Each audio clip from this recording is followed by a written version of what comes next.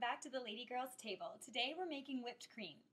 The most important thing to remember when you're making whipped cream is chill your bowl first and use your cream, take your cream out of the fridge at the last possible second.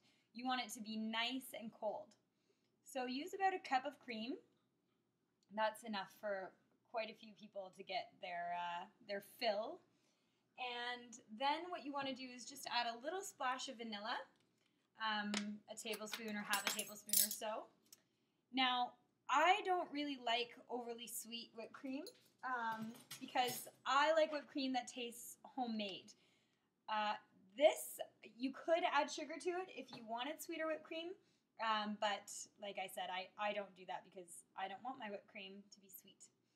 So now using a handheld mixer, this is the best part of this video is I get to use my very jazzy handheld mixer. Just uh, start slowly start whipping your cream.